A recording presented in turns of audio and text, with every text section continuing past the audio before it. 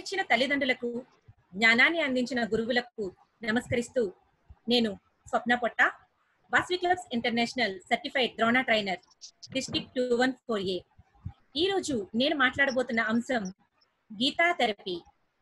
Friends Bhagavad Gita ఒక అద్భుతమైన విజ్ఞాన భాండాగారం. ప్రతి మనిషికి కూడా మానసికంగా కానీ శారీరకంగా కానీ కొన్ని సమస్యలు ఉంటాయండి అవి లేని వాళ్ళు భూమి మీద లేరంటే నిజమే. ఒక స్టూడెంట్ కానివ్వండి ఒక ఉద్యోగి కానివ్వండి ఒక వ్యాపారి కానివ్వండి ఒక గృహిణి కానివ్వండి ప్రతి ఒక్కరికి కూడా చిన్నదో పెద్దదో ఏదో ఒక సమస్య అయితే ఉందండి. ఆ సమస్యలతో లైఫ్ నే పెద్ద సమస్యగా మార్చేసుకుంటున్నాం. శారీరక సమస్యలకైతే చికిత్స దొరుకుతుంది. మరి మానసిక సమస్యలకి చికిత్స ఎక్కడ దొరుకుతుంది? ఉందిగా భగవద్గీత. మన మనసుకి మన సమస్యకి ఉపశమనం కలిగించి చికిత్స చేస్తుందండి. అదే గీతా థెరపీ. ఫ్రెండ్స్ మనందరికీ తెలుసు మహాభారత కథ. మహాభారతంలో అర్జునుడు కురుక్షేత్ర యుద్ధ సమయంలో పాల్గొన్నప్పుడు అతనికి చిన్న ప్రాబ్లం వచ్చిందండి. ఏంటి అంటే నేను చేయలేను. నా వల్ల కాదు అని డేలా పడిపోయాడండి. యుద్ధ భూమి నుంచి వెనక్కి వెళ్ళిపోవాలని ఆలోచిస్తున్నాడు. సర్వస్వం కోల్పోయిన వాడైపోయాడండి. అయిపోయాడండి అతనికి ఆ సమయంలో ఒక ధైర్యం కావాలి. మనోబలాన్ని ఇవ్వాలి. ఒక సైకాలజిస్ట్ అవసరం ఉందండి. కృష్ణుడు ఆ పనే చేశాడండి. ప్రొఫెషనల్గా డీల్ చేశాడు. ప్రతి డౌట్ని కూడా క్లారిఫై చేశాడు. సమస్య ఎదుర్కోవడం ఎంత అవసరమో ఎలానో తెలియజేశాడండి. మనోశక్తిని ఎలా డెవలప్ చేసుకోవాలో చెప్పాడు. అంతే. సో ఇంకేముంది? అర్జునుడు మరలా సూపర్ హీరో అయిపోయాడు. తాను అనుకున్నది నెరవేర్చగలిగాడండి. అర్జునుడంత గొప్పవాడికే సమస్యలకు భయపడిపోతే మరి మనం ఎంత అండి సామాన్యులం. మనం కూడా అప్పుడప్పుడు డీలా పడిపోతుంటాం. భయపడిపోతుంటాం. నేను ఏమీ చేయలేను అనుకుంటాం. మానసికంగా కృంగిపోతాం. ఎవరితో చెప్పుకున్నా కూడా కంప్లీట్గా రిలాక్సేషన్ అనేది రాదండి. ఇదే ప్రాబ్లం ని మనందరం కూడా ఫేస్ చేస్తున్నాం. లైఫ్ ఇంతే అని ఊరికే ఉండిపోతున్నామండి. సొల్యూషన్స్ వెతుక్కోవటం లేదు. ఆ సమస్యలన్నిటికీ గొప్ప సొల్యూషనే భగవద్గీత అండి. అర్జునుడికి పనిచేసిన భగవద్గీత మనకి పనిచేయదా? ఇదే లాజిక్ అండి. అర్జునుడి రూపంలో శ్రీకృష్ణ భగవానుడు మానవాళికి అందించిన గొప్ప బహుమతి ఈ భగవద్గీత అండి. అదే గీతా థెరపీ. మన మనసుకి మన మానసిక సమస్యలకి అందించే ఒక గొప్ప చికిత్స. సైకాలజీలో కాగ్నేటివ్ బిహేవియల్ థెరపీ అని ఒకటి ఉంటుంది. అందులో మూల సూత్రాలన్నీ కూడా భగవద్గీతలోనే ఉన్నాయండి. మన లైఫ్లో చూసుకుంటే ఒక డాక్టర్ ఒక లాయర్ ఒక ఇంజనీర్ కావాలంటే వందల పుస్తకాలు చదవాలండి. కానీ గొప్ప వ్యక్తి కావాలంటే భగవద్గీత ఇచ్చే గైడెన్స్లో నడిస్తే చాలంటండి. ఆ భగవంతుడు మనిషిని సరైన దారిలో నడిపించడానికి అందించిన ప్రోడక్ట్ మాన్యువలే భగవద్గీత. ఏది తెలుసుకున్న తర్వాత కూడా తెలుసుకోవడానికి ఇంకా ఏదైనా మిగిలి ఉంటుందో అది సైన్స్ అంట. కానీ ఏది తెలుసుకున్న తర్వాత మరొకటి ఏమి మిగిలి ఉండదో తెలుసుకోవడానికి దాన్నే స్పిరిచువల్ సైన్స్ అంటారండి. అంత గొప్ప నాలెడ్జ్ భగవద్గీత. అయితే భగవద్గీతలో శ్రీకృష్ణుడేమి కూడా మనుషుల్ని అడవులకెళ్ళి తపస్సు చేసుకోమని ఆదేశించట్లేదండి. బంధాలను వదిలేసుకోమని కాషాయాన్ని కట్టుకోమని సలహా ఇవ్వట్లేదు. పూజలు వ్రతాలు ఉపవాసాలు హోమాల ప్రస్తావనలోనే ఉండిపోమనట్లేదు. మనిషి జీవితం ఎంత? బుడగంత అని నిరాశపరచలేదండి. మన లైఫ్లో ఆనందాలు విషాదాలు గెలుపులు ఓటములు వీటన్నింటితో పాటుగా కూడా పీస్ఫుల్గా బతకడం సాధ్యమే అంటున్నాడండి. అయితే నేను పలానా జాబ్ చేస్తున్నాను. నా లైఫ్ స్టైల్ డిఫరెంట్. కదా మరి నేను అనుకుంటున్నారా? ఏం పర్లేదండి. నువ్వు సాఫ్ట్వేర్ ఇంజనీర్ అయితే ప్రోగ్రామింగే నీకు ముక్తి మార్గం. నువ్వు ఒక బ్యాంక్ ఎంప్లాయీ అయితే డెబిట్ క్రెడిట్లే నీకు జపత నువ్వు హౌస్ వైఫ్ అయితే వంటిల్లే నీకు ధ్యాన కేంద్రం అని ధైర్యం చెబుతున్నాడండి శ్రీకృష్ణుడు. మనసునే ఒక యజ్ఞవాటికగా చేసుకోమంటున్నాడు. మనం చేసే పనులనే హోమ ద్రవ్యాలుగా సమర్పించి మనోయజ్ఞం చేయమంటున్నాడండి. భక్తి జ్ఞానం మాత్రమే కాదు మన కర్మలతో కూడా మనం విలువైన లైఫ్ స్టైల్ని గడపొచ్చని ప్రకటించాడండి. అంటే మనం మనలా ఉంటూనే హ్యాపీగా బెస్ట్గా ఉండమని బోధిస్తున్నాడు శ్రీకృష్ణుడు. ఫ్రెండ్స్ కర్మ అంటే పని. నడవడం ఓ కర్మ. తినడం ఓ కర్మ. నిద్రపోవడం ఓ కర్మ. లైఫ్ అంటేనే ఎన్నో మెంటల్ అండ్ ఫిజికల్ వర్క్స్తో కళ్ళగలిపి ఉంటుందండి. సో కర్మ అనేది మనిషి యొక్క సహజ స్వభావం. నహి కశ్చిత్ క్షణమపి జాతు తిష్టత్య కర్మకృత్ అంటే ఒక్క క్షణం కూడా కర్మ చెయ్యకుండా అంటే పని చెయ్యకుండా ఉండలేం. చేస్తూ ఉండాల్సిందే. చేస్తూ కర్మ ఎలాగూ తప్పదు కదా. కాబట్టి ఆ చేసేదేదో మంచిగా పర్ఫెక్ట్గా చేయమంటున్నాడు గీతాకారుడు. ఇంద్రుడు ఒకసారి భూలోకవాసుల మీద కోపం వచ్చి భూలోకవాసులందరికీ కూడా పద్నాలుగు సంవత్సరాలు వర్షాలు కురిపించనని శపథం చేసి శపించాడండి. అలా చెప్పినప్పుడు వరుణుడి దగ్గరికి వెళ్ళి వర్షదేవుడి దగ్గరికి వెళ్ళి వరుణుడితో నువ్వు వర్షాలు కురిపించొద్దు అని చెప్పాడు. అయితే వరుణుడు ఒకటే మాట అన్నాడు నేనైతే వర్షాలు కురిపించను. కానీ శివుడు డమరుకం మోగిస్తే వర్షం కురవడం ఆగదు అని చెప్పాడండి. సో ఇంద్రుడు కృష్ణ శివుడి దగ్గరికి వెళ్ళి స్వామి నేను ఇలా భూలోకవాసులకి తప్పించాను సో మీరు డమరుకం మోగించొద్దు అని అడిగాడండి. నేను డమరుకాన్ని మోగించను. అయితే పార్వతీదేవి మాట్లాడేటప్పుడు అవసరమైతే నమరకం మోగించాల్సి వస్తుంది అని చెప్పాడండి. సో అక్కడితో అయింది ఈ విషయం భూలోకవాసులందరికీ తెలిసింది. సో పద్నాలుగు సంవత్సరాలు మనకి వర్షం పడదు.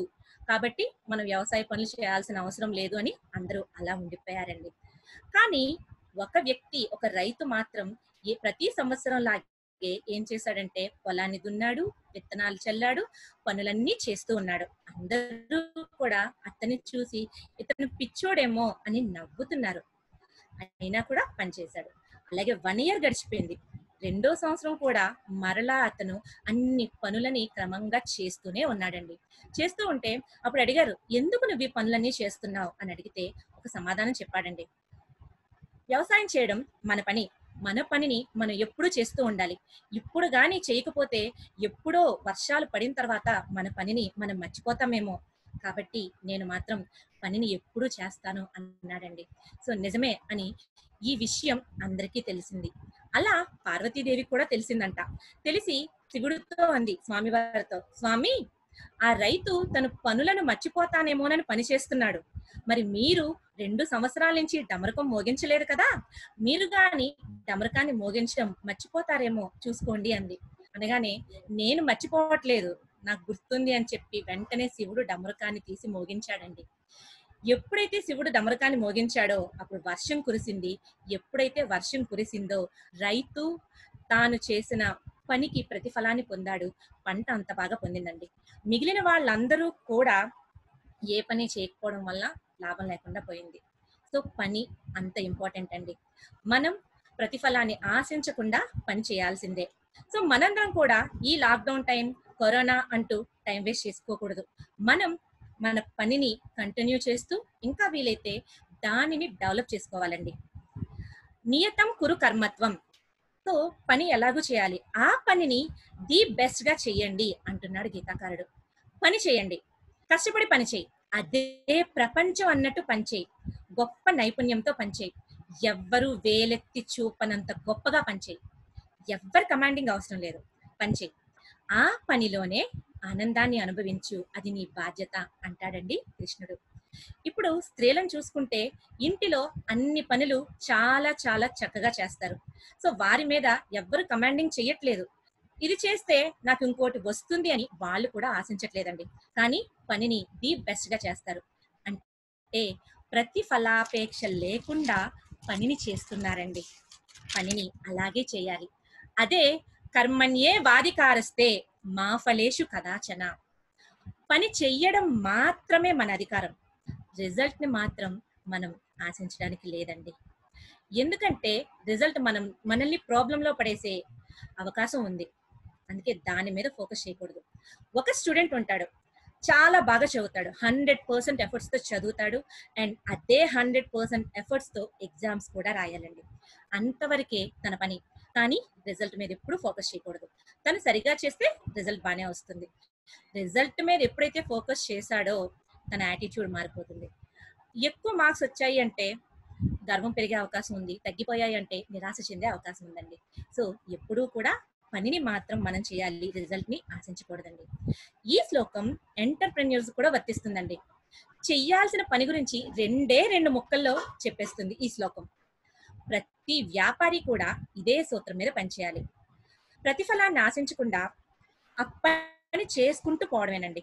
ప్రాసెస్ని ఎంజాయ్ చేస్తూ తీరం చేరుకోవాలి తప్ప ఎంతసేపు ఫైనల్ అవుట్పుట్ మీద ఫోకస్ చేయకూడదు. అవుట్పుట్ మీద ఎప్పుడైతే ఫోకస్ చేస్తున్నాడో అదే ఫోకస్ని చేసే పని మీద అంటే వర్క్ మీద కానీ పెడితే రిజల్ట్ గురించి ఆలోచించే అవసరం ఉంటుందా అండి? ఉండదు. ఇంకా ఆఫీస్లో వర్క్ ఎన్విరాన్మెంట్లో డెవలప్ అవ్వాలి అంటే అండ్ స్టాఫ్లో స్ట్రెస్ కానీ నెగిటివ్ ఎమోషన్స్ కానీ మెంటల్ ప్రాబ్లమ్స్ కానీ క్లియర్ అవ్వాలంటే కర్మయోగం.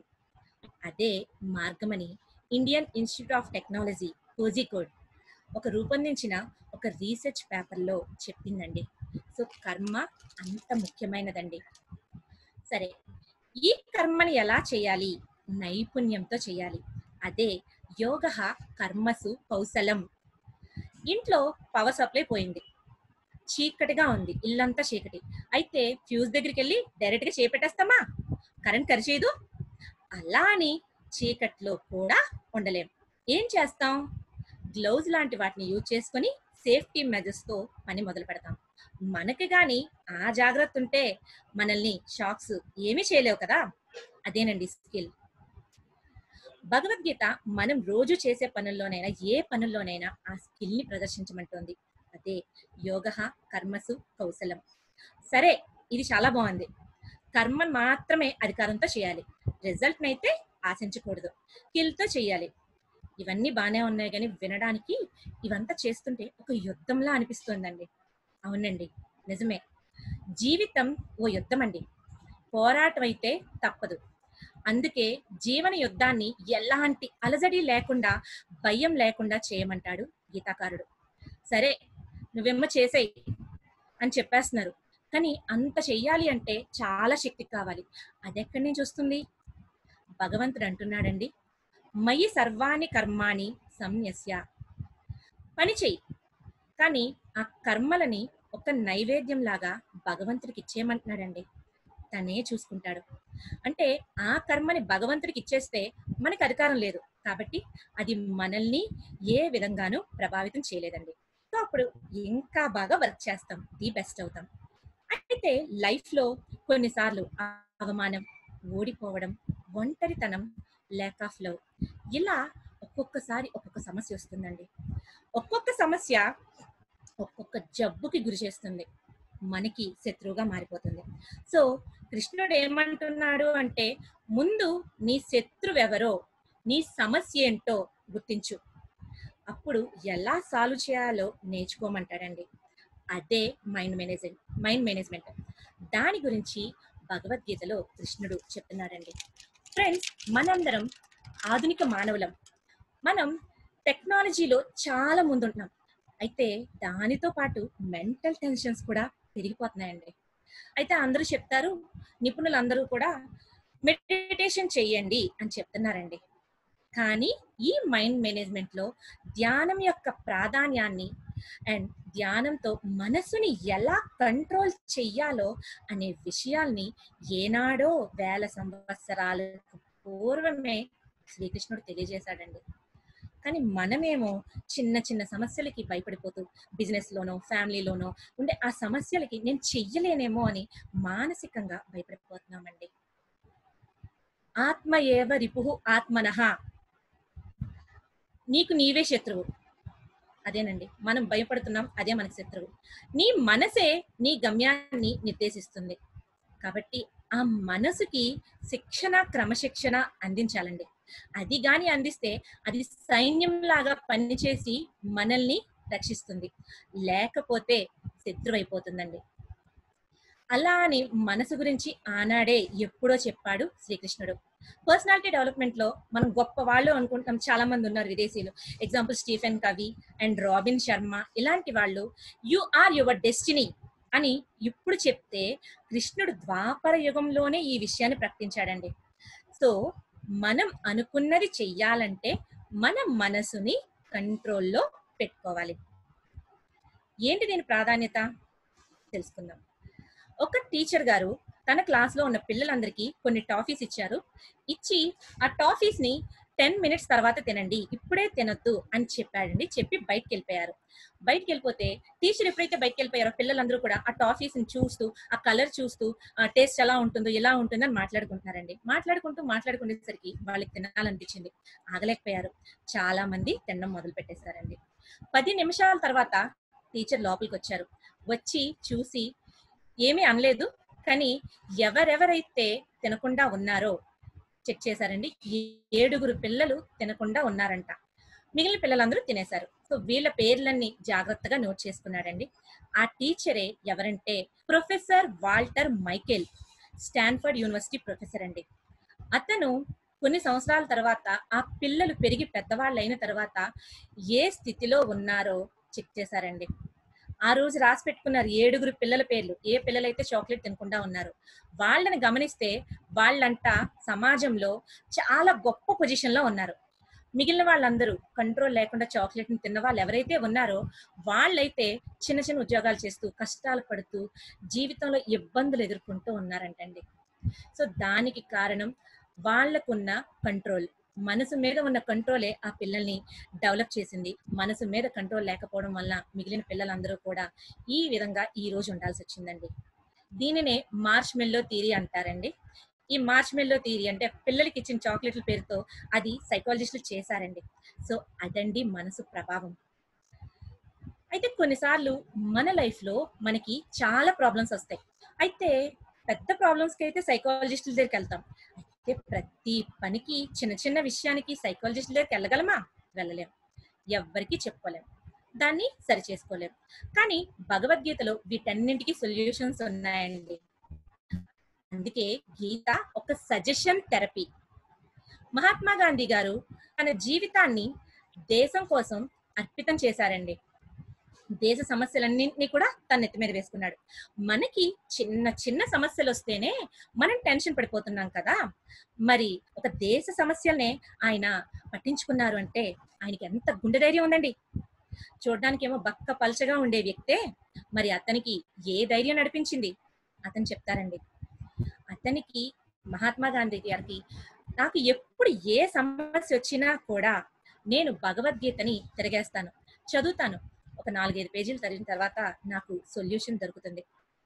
నా లైఫ్ని డిసైడ్ చేస్తూ కర్తవ్యాన్ని బోధించింది భగవద్గీతే అని మహాత్మా గాంధీ గారు చెబుతున్నారండి. ప్రపంచమంతటినీ కూడా తన మాటలతో మెస్మరైజ్ చేసిన స్వామి వివేకానంద గారు వారు కూడా తన జీవితాన్ని అద్భుతంగా మార్చిన విజ్ఞాన భాండాగారం భగవద్గీత అని చెప్తున్నారండి. సో ఒక నాయకుడు చక్కని లక్షణాలు కావాలి అంటే భగవద్గీతని తెలుసుకోవాలండి. కర్మయోగి ఒక గొప్ప నాయకుడిగా కాగలడంట. అంటే పని చేసేవాడు నాయకుడైతే ఆ జాతి మొత్తం అదృష్టవంతులు అవుతారంటండి.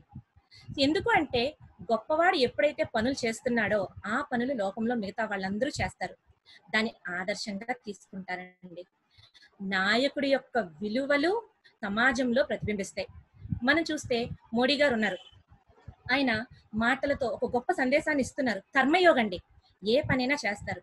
అందుకే ఆయన చెప్పినట్లుగానే మనం నడుచుకుంటూ ఎలా ఉండాలో లాక్డౌన్ సమయంలో ఎలా ఉండాలో కూడా తెలుసుకుంటున్నామండి. సో కర్మయోగికి ఇంకొక ఎగ్జాంపుల్ ధోని. రెండు వేల పదకొండులో మనం మన ఇండియా వరల్డ్ కప్ గెలుచుకున్నప్పుడు తను నాయకుడిగా ఉండి అన్ని పనులు చేస్తూ ఎదుటివారికి ఆదర్శంగా నిలిచాడండి. నిలవడమే కాదు టీంని గెలిపించుకున్నాడు. టీంని గెలిచిన తర్వాత ఇంకొకరైతే ఆ కప్పుని తీసుకొని మురిసిపోతూ ఏదో చేస్తూ నానా హంగామా చేసుండేవారేమో. కానీ అతను మాత్రం కేవలం ఆ కప్పుని తీసుకొని అక్కడ పెట్టేసి వెళ్ళి తన తరువాత పని చేస్తున్నాడండి. కర్మయోగికి గొప్ప ఉదాహరణ అతను. అయితే భగవంతుడు అంటాడండి నాయకుడు ఎప్పుడూ కూడా పనులు చేస్తూ ఉదాహరణగా ఉండాలి అని. అందుకే నేను అవతారాలు ఇస్తాను అని. మనకి అప్పుడప్పుడు డౌట్ వస్తుంది. విష్ణువు సర్వశక్తిమంతుడు కదా. ఏమైంది? ఎందుకు పదవతారాలు ఎత్తాలి? మనుషుల్లాగా ఎందుకు కష్టపడాలి? అని అడిగితే గీతలో దాని యొక్క రహస్యాన్ని చెప్తున్నాడండి. అదే నాయకుడిగా పనిచేయడం. సో మామూలు మనిషిలాగా ఎన్నో కష్టాలను ఎదుర్కొన్నాడు. తను చేయవలసిన ప్రతి పనిని చేశాడండి. చిన్నతనంలోనే ఎంతో మంది రాక్షసుల యొక్క రాక్షసత్వానికి బలయ్యాడు. పోతన అందించిన విషపు పాలు తాగాడు. కాలింగుని పడగల మీద మర్దించాడండి పెరిగి పెద్దయిన తర్వాత పాండవుల యొక్క రథాన్ని తోలాడు. ఆ రథం యొక్క గుర్రాలను కలిగాడండి. అదండి ఆదర్శం. నాయకుడు అంటే చేసి చూపించగలవాడు. ఆ నాయకుడు ఎలా ఉండాలో కర్మయోగి మనకి తెలియజేస్తుంది. ఫ్రెండ్స్ ఆ నాయకుడు అవ్వాలంటే నాయకుడికి గొప్ప జ్ఞానం కావాలి. మనకి తెలుసు మనం ఏ వర్క్ చేయాలన్నా కూడా మనకి నాలెడ్జ్ కావాలి. మరి నాలెడ్జ్ ఉంటేనే మనం కొత్త పనులు చేస్తాం డెవలప్ అవుతాం. ఎగ్జాంపుల్ మనం ఇప్పుడు యూజ్ చేస్తున్న ఈ జూమ్ యాప్ కానీ చూస్తే ఒక ఫార్టీ ఫిఫ్టీ డేస్ ముందు మనకి జూమ్ యాప్ మీద నాలెడ్జ్ లేదు. కానీ ప్రయత్నించి ప్రయత్నించి తెలిసిన వాళ్ళను అడిగి శ్రద్ధ పెట్టి పట్టుదలతో ఈ రోజు చాలా బాగా యూజ్ చేస్తున్నాం. అంటే ఏ విషయానికైనా నాలెడ్జ్ ఉండాలి. ఆ నాలెడ్జ్ కావాలంటే శ్రద్ధ పట్టుదల కావాలండి. ఇదే విషయాన్ని గీతాకారుడు గీతలో తెలియజేశాడండి అదే శ్రద్ధావాన్ లభతే జ్ఞానం. శ్రద్ధ కలవాడు జ్ఞానాన్ని పొందుతాడండి. అది ఆధ్యాత్మిక జ్ఞానం కానివ్వండి లౌకిక జ్ఞానం కానివ్వండి ఏదైనప్పటికీ శ్రద్ధ చాలా అవసరం. మనకు తెలుసు ఒక ఎగ్జాంపుల్ ఏకలవ్యుడు ఎంత శ్రద్ధగా తను అనుకున్న విలువిద్యను నేర్చుకున్నాడో. గురువు గారు తనకి విద్యను నేర్పనన్నప్పటికీ కూడా తన శ్రద్ధతో ఆ జ్ఞానాన్ని సంపాదించాడండి. జ్ఞానం లేకపోయినా కమిట్మెంట్ లేకపోయినా శ్రద్ధ లేకపోయినా జీవితంలో ఏది సాధించలేమండి. ఇదే మనకి భగవద్గీతలో చెప్పాడు. ఫ్రెండ్స్ సొసైటీలో చూడండి. కమిట్మెంట్ ఇంట్రెస్ట్ నాలెడ్జ్ ఉన్న వాళ్ళు మాత్రమే మంచి పొజిషన్లో ఉన్నారు. సో మనకి ఏం కావాలో మనం ఎలా ఉండాలో మనమే డిసైడ్ చేసుకోవాలి. జ్ఞానాన్ని డెవలప్ చేసుకోవాలండి. భగవద్గీత జ్ఞానానికి పరాకాష్ట అని మార్క్స్ ముల్లర్ అనే వెల్ నోన్ జర్మనీ సాహితీవేత్త వచ్చేస్తున్నాడండి అంత గొప్ప గ్రంథం గీత. జ్ఞాన భాండాగారం. కానీ ఒక్కొక్కసారి ఈ జ్ఞానం కోపం వల్ల లాస్ అవుతుందండి. అదేంటి అంటే క్రోధాత్ భవతి సమ్మోహ సమ్మోహాత్ స్మృతి విభ్రమ స్మృతి బుద్ధినాశాత్ ప్రణశ్యతి. కోపం నుంచి అవివేకం పుడుతుందండి. అవివేకం వల్ల మతిమరుపు మొదలవుతుంది. ఆ ప్రభావంతో బుద్ధి నశిస్తుంది. దీంతో మనిషి పతనమైపోతాడు. అందుకే కోపాన్ని కంట్రోల్ చేసుకోవాలి. చేసుకోకపోతే మనమే నాశనం అయిపోతాం అందుకే అన్నారు కదండి యాంగర్ ఈజ్ డేంజర్. అయితే మనం మన లైఫ్లో కోపాన్ని చూపిస్తున్నామండి. కానీ కోపాన్ని చూపించకూడదు. మనకి కోపం వచ్చింది అని చెప్పాలండి. ప్రేమని చూపించాలి. కానీ మనం రివర్స్ చేస్తున్నాం. నే- నాకు మీరంటే అభిమానం నువ్వంటే ప్రేమ అని చెప్తున్నాం కానీ చూపించట్లేదు. సో ప్రేమ అభిమానాల్ని చూపించాలి. అయితే కొన్నిసార్లు ఈ ప్రేమ అభిమానాల విషయంలో ప్రాబ్లమ్స్ వస్తున్నాయండి. మనుషులుగా కొన్నింటికి కొంతమందితో అటాచ్మెంట్ పెంచేసుకుంటాం. అది కొన్నిసార్లు ఇబ్బంది పెడుతుందండి. దాన్ని వదిలేయాలని చెప్తున్నాడు కృష్ణుడు. అశోచ్యానన్య శోచస్త్వం ప్రజ్ఞా వాదాంశ భాషసే. గత సూన గతాశూంష నాను శోచంతి పండితా. గీతాచార్యుడు చెప్తున్నాడండి అశోచ్యాన్ సోకింప తగని వారి కోసం. అంటే నీ ప్రేమను అభిమానాన్ని అందుకునే అర్హత లేని వారి కోసం మా శుచుహు ఏడవద్దు అని చెప్తున్నాడండి. శోక నివారణ ఆనంద ప్రాప్తిని గ్రహించమంటున్నాడు. అధైర్యం దుఃఖం పిరికితనం మృత్యుభయం ఇలాంటివి పక్కన పెట్టేయాలి పెట్టేసి ముందుకు సాగాలి. ఇలా మనిషి లైఫ్లో ఎమోషన్స్కి చాలా ఇంపార్టెన్స్ ఉంది. అలానే మనిషి జీవితంలో ఫుడ్కి కూడా ఎంత ప్రాముఖ్యత ఉందో మనకి తెలుసండి. అదే శ్లోకం అహం వైశ్వానరో భూత్వా ప్రాణినాం దేహమాశ్రిత ప్రాణాపాన సమాయుక్తం పచ్చామ్యన్నం చతుర్విధం. వైశ్వానరుడు ఆ విష్ణువు జఠరాగ్ని రూపంలో అంటే సైంటిఫిక్గా జఠర రసం గ్యాస్ట్రిక్ జ్యూస్ రూపంలో మన శరీరంలో ఉండి ప్రాణ అపాన వాయువులతో కూడి ఆహారాల్ని అన్నింటినీ కూడా డైజెస్ట్ చేస్తున్నాడండి. సో మనం పంచభక్ష్యాలు అంటాం కదా ఆ ఆహారాలన్నింటినీ కూడా డైజెస్ట్ చేస్తున్నాడు. మన హెల్త్ని కాపాడుతున్నాడు. సో ఫుడ్ని జాగ్రత్తగా తినాలండి. మనకి ఫుడ్ తీసుకునేటప్పుడు ఇది శరీరానికి నా శరీరానికి మంచి చేస్తుంది. నా ఆయుష్ని పెంచుతుంది. కాబట్టి దైవ భావనతో తినాలండి. దైవాన్ని తలుచుకుంటూ తినాలి. అది అప్పుడు అమృతంగా మారిపోతుందండి. అందుకే ఈ శ్లోకాన్ని భోజనం చేసే ముందు యూజ్ చేయాలి అంటారు. భోజనం చేసే ముందు మనం చెప్పుకొని తినాలి. అప్పుడు భోజనానికి అమృత భావం వస్తుందంట. కానీ మన అలవాట్లు నవేడేస్ చాలా మారిపోయాయి. చాలా డిఫరెంట్ డిఫరెంట్గా ఉన్నాయి. అలా డిఫరెంట్గా ఉండడం వల్లే ఈ రోజు మనం అనేకమైన గ్యాస్ట్రైటిస్ లాంటి జబ్బులు పాల్పడుతున్నామండి. అంటే ముందు మనల్ని మనం కాపాడుకోవాలి అంటే సో ఎలా ఫుడ్ తీసుకోవాలి అనేది కూడా మనకి భగవద్గీతలో కృష్ణుడు చెప్తున్నాడండి. సో ఇంకా భగవానుడు చెప్తున్నాడు అధికంగా తినకూడదు. అలా అని ఏమీ తినకుండా ఉండకూడదు. ఎక్కువగా పడుకోకూడదు. అలా అని నిద్ర లేకుండా కూడా ఉండకూడదండి. మితాహారం మిత నిద్ర మితాచరణ ఇవి కలిగి ఉండాలంటండి. సో మధ్య మార్గాన్ని అవలంబించమని భగవానుడు చెప్తున్నాడు. సో ఇలా గీతలో ఉండే పద్దెనిమిది యోగాలు కూడా అనేకమైన విషయాలు తెలియజేస్తున్నాయండి. ఒక్కొక్కటి ఒక్కొక్క దానిలో గొప్పగా ఉంటుంది. సో ఇంత గొప్ప జ్ఞానాన్ని ఇంత గొప్ప గ్రంథాన్ని కూడా ప్రపంచమంతా వాడుతున్నారండి. అమెరికాలో గొప్ప అణుశాస్త్రవేత్త ఆటం బాంబును కనుగొన్న శాస్త్రవేత్త ఓపెన్ హీమర్ తను తన ప్రయోగానికి ముందు అక్కడ అమెరికన్స్ అధ్యక్షుడు చెప్పాడు నువ్వు ఈ పని చేయి నాకు కనిపెట్టి ఇవ్వు అని. బోల్డ్ డబ్బిస్తున్నాడు అంత గౌరవం కూడా లభిస్తుంది. కానీ అతను అన్నాడంట నేను ఈ ప్రయోగం చేసే ముందు ఇండియా వెళ్ళొస్తాను అని. అదేంటి? పని మొదలు పెట్టమంటే ఇండియా వెళ్తాను అంటున్నావు.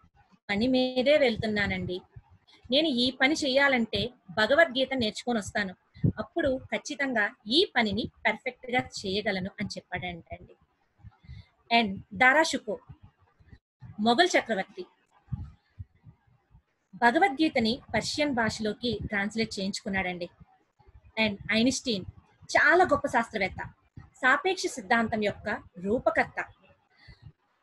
అటువంటి అతను తనకేదైనా ప్రాబ్లం వస్తే తను చూసేది భగవద్గీతనంట. సో భగవద్గీతే నా జీవితాన్ని ప్లాన్ చేసింది అని చెప్తున్నాడండి అతను. ఇలా ఎంతో మంది ఆర్నాల్ ఎడ్వర్డ్ బ్రిటిష్ కవి ఇంగ్లీష్లో భగవద్గీతని ట్రాన్స్లేట్ చేశారండి వీళ్ళందరూ కూడా హిందువులు కాదు. సో మత గ్రంథంగా చూడలేదండి. ఒక జ్ఞాన భండాగారంగా చూశారు. కానీ మనం ఇండియన్స్ ఏం చేస్తున్నాము అంటే భగవద్గీతని చనిపోయేటప్పుడు యూజ్ చేస్తారు అని అనుకుంటున్నామండి. ఎందుకంటే అప్పుడే ఎక్కువగా వేస్తున్నారు అప్పుడే ఎక్కువగా వింటున్నామండి. ఒక ఒక వ్యక్తి అంటున్నాడు అనమాట నేను ఒక రోజు ఇంట్లో భగవద్గీత వేసుకుని ఉంటుంటే నా భార్య వచ్చి అదేంటి అది వేసావు? ఆపు మన ఇంట్లో ఎవరో పోయారు అనుకుంటారు అని చెప్పిందంటండి. ఆ విషయం చెప్పిన వ్యక్తి చాలా బాధపడ్డాడు. అంటే ఎక్కడ యూజ్ చేస్తున్నాం? మనం ఇండియన్స్ చనిపోయేటప్పుడు అనుకుంటున్నామండి. భగవద్గీత మరణ గీత కాదండి జీవన గీత స్కూల్స్లో అనేకమైన దేశాల్లో పిల్లలకి నేర్పిస్తున్నారండి. కానీ మనం ఎక్కడ నేర్ యూజ్ చేస్తున్నాం భగవద్గీతని? కోర్టులో యూజ్ చేస్తున్నామండి. అదే పిల్లలకి స్కూల్లోనే ఈ భగవద్గీతని నేర్పించడం మొదలు పెడితే సొసైటీలో ఈ దిశ నిర్భయ ఇలాంటి సంఘటనలు జరిగే అవకాశం ఉంటుందండి. ఒక సొసైటీని మంచిగా మారుస్తుంది. అందుకని స్కూల్స్లోనే ఇంప్లిమెంట్ చేస్తే చాలా చాలా బాగుంటుందండి. ఎప్పుడైతే ఈ నాలెడ్జ్ నేర్చుకున్నామో అటువంటి వారు ఈ సూసైడ్స్ అటువంటి ఆలోచనల వైపు వెళ్ళరండి. కన్ఫ్యూజన్స్ ఉండవు. ఏ డోలాయమానాలు ఉండవు. మనసు మహా స్వచ్ఛంగా ఉంటుందండి. అదే గొప్ప ఆరోగ్యానికి సంకేతంగా మారుతుంది. సో మనం మన పనిని మనం చేయాలి. భగవద్గీతలో తొలి శ్లోకం తొలి పదం ధర్మ. ధర్మక్షేత్రే కురుక్షేత్రే అని మొదలవుతుంది. చివరి శ్లోకం చివరి పదం మమ. రెండూ కలిపితే మమ ధర్మ. అంటే నా ధర్మ. ఎవరి ధర్మాన్ని వారు సక్రమంగా నిర్వర్తిస్తే అన్ని అన్ని సక్రమంగా జరుగుతాయంటండి.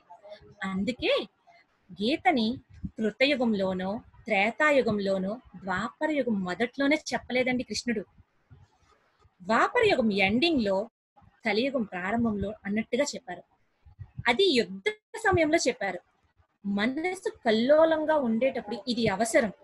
కాబట్టి ఆ సమయంలో గీతనిచ్చారండి కలియుగంలో ఉండే మనుషులందరూ కూడా ఇలానే ఉంటారంట. అందుకనే వారి కోసం ఇలా గీతని భగవానుడు అందించాడండి. మన లైఫ్కి కావలసిన ధర్మాలన్నీ అందులోనే ఉన్నాయండి. మన యుగానికి గీత యాప్ట్ అండి ధర్మాలన్నింటినీ చక్కగా ఉంది. అందులో ఉండే ధర్మాలే మనల్ని నిర్దేశిస్తున్నాయి. అయితే ఒకసారి ఒక బామ్మగారు ఒక ముసలమ్మ గారు టెంపుల్ దగ్గర భిక్షం ఎత్తుకుంటున్నారు భిక్షం అడుగుతున్నారు. అడిగేటప్పుడు ధర్మం చేయండి అంటూ అడుగుతున్నారు. అలా అడుగుతూ ఉంటే ఒక స్వామీజీ వచ్చి ఎందుకమ్మా మీరు భిక్షం ఎత్తుకుంటున్నారు? మీరు చాలా మంచి ఫ్యామిలీ నుంచి వచ్చారు కదా. మీకు ఏమైంది మీ భర్త ఏమయ్యారు? మీ బిడ్డ ఏమయ్యారు? అని అడిగారండి. అడిగితే నా భర్త చాలా సంవత్సరాల కిందటే చనిపోయారు. నా బిడ్డ విదేశాల్లో ఉద్యోగం చేయడానికి వెళ్ళాడండి. వెళ్ళేటప్పుడు కొంత అమౌంట్ ఇచ్చాడు. కానీ ఆ డబ్బులు అయిపోయిన తర్వాత నాకు పని చేసే శక్తి లేదు. సో నేను బ్రతకడం కోసం ఇలా ధర్మాన్ని అడిగి జీవించాల్సి వస్తుంది అని అన్నాడండి. స్వామీజీకి డౌట్ వచ్చింది. నీ బిడ్డ డబ్బులు పంపించట్లేదా? అని అడిగాడండి. నా బిడ్డ డబ్బు పంపించట్లేదు కానీ కొన్ని రంగు కాగితాలని ప్రతి నెల పంపిస్తున్నాడు. నేను దాన్ని ముద్దు పెట్టుకొని గోడ కంటిస్తున్నాను అని చెప్పాడండి. చెప్పింది ఆమె. అప్పుడు ఆయనకి డౌట్ వచ్చింది. డౌట్ వచ్చి అమ్మ ఇంటికి తీసుకెళ్ళవా? నన్ను అడిగితే తీసుకెళ్ళిందండి. చూశారు. చూస్తే గోడ మీద కొన్ని కాగితాలు ఉన్నాయి. అతను గమనిస్తే అవి ఒక్కొక్కటి యాభై వేల రూపాయల విలువన్న చెక్స్ అండి. అంటే ఆ ముసలామికి తన దగ్గర ఎంత సంపద ఉందో తెలియలేదండి. తెలియక బయటికెళ్ళి భిక్ష అడుగుతోంది. మనం కూడా అదే పొజిషన్లో ఉన్నామండి. మన దగ్గర భగవద్గీత ఉంది. అందులో చాలా జ్ఞానం ఉంది. కానీ ఆ జ్ఞానాన్ని మనం తెలుసుకోలేక ఇంటి అల్మరాలోనో లేకపోతే పూజ గదిలోనో పెట్టి పూజ చేస్తున్నామండి. దానిలో జ్ఞానాన్ని ఉపయోగించుకోవట్లేదు. అలా కాదండి. అందులో ఉండే జ్ఞానాన్ని ఉపయోగించుకోవాలండి. ఆ జ్ఞానంతో మన సమస్యలకి మూల కారణాలని తెలుసుకోవచ్చండి. అదే థెరపీ. ఈ గీతా థెరపీతో మన లైఫ్లో ఉండే సమస్యలన్నింటికీ ట్రీట్మెంట్ చేసుకోవచ్చు. కాన్ఫిడెన్స్ పెంచుకోవచ్చండి. చక్కగా ఆలోచించవచ్చు ఈ గీతా థెరపీని నిజ జీవితంలో వాడుకోండి ఫ్రెండ్స్. మీకు అవకాశం ఉంటే శ్లోకంతో సహా చదవండి. లేదా అట్లీస్ట్ తాత్పర్యాన్ని చదవండి. మనకి బోల్డ్ నాలెడ్జ్ వస్తుంది. పిల్లలకి ఇప్పటి నుంచే నేర్పించండి ఫ్రెండ్స్. మానసికంగా స్ట్రాంగ్ అవుతారు. సొసైటీకి ఎసెప్ట్ అవుతారండి ప్రాబ్లంగా మారరు. సో ఈ గీతా థెరపీ మనకి పనిని ఎలా చేయాలో తెలియజేస్తుందండి. మనసుని ఎలా కంట్రోల్ చేయాలో చెప్తుంది. శ్రద్ధగా ఎలా ఉండాలో చెప్తుంది. జ్ఞానాన్ని ఎలా పొందాలో ఎమోషన్స్ని ఎలా కంట్రోల్ చేసుకోవాలో తెలియజేస్తుంది. కోపంతో ఏం నష్టపోతున్నామో చెప్తుంది. ఇలా ప్రతి విషయంలో ప్రతి విషయంలో ప్రతి విషయంలో సమస్యల్ని విశ్లేషిస్తూ మనకి చికిత్స అందిస్తోందండి. థెరపీని చేస్తోంది. సో ఈ గీతా థెరపీ మన జీవితంలో ఉపయోగించుకుంటే మనం ఖచ్చితంగా చాలా హ్యాపీగా ఉండగలం ఖచ్చితంగా అభివృద్ధి చెందగలమండి. సో గీతని ఉపయోగించుకోవాలని మనస్ఫూర్తిగా కోరుకుంటున్నాను. సో ఇది గీతా థెరపీ. ఈ అవకాశాన్ని నాకు అందించడానికి మొదటి కారణం ముఖ్య కారకులు international president Vasavian Trivedi Venugopal garu. So ఇలా అందరినీ ఒక దగ్గర కలుపుతూ మనలో ఉన్న మాలో ఉన్న జ్ఞానాన్ని షేర్ చేసుకోవడానికి అవకాశం కల్పించినందుకు వారికి ధన్యవాదాలు తెలియజేస్తున్నానండి. And training committee chairman garu Aitharamulu garu అన్ని జిల్లాల్ని కోఆర్డినేట్ చేస్తూ ట్రైనర్స్ను కోఆర్డినేట్ చేస్తూ ఎప్పుడు ఎక్కడ ఏ సమయంలో ఎవరిని పంపించాలో కోఆర్డినేట్ చేస్తూ అందరికీ గైడెన్స్ ఇస్తున్నటువంటి వారికి నా హృదయపూర్వక ధన్యవాదాలు.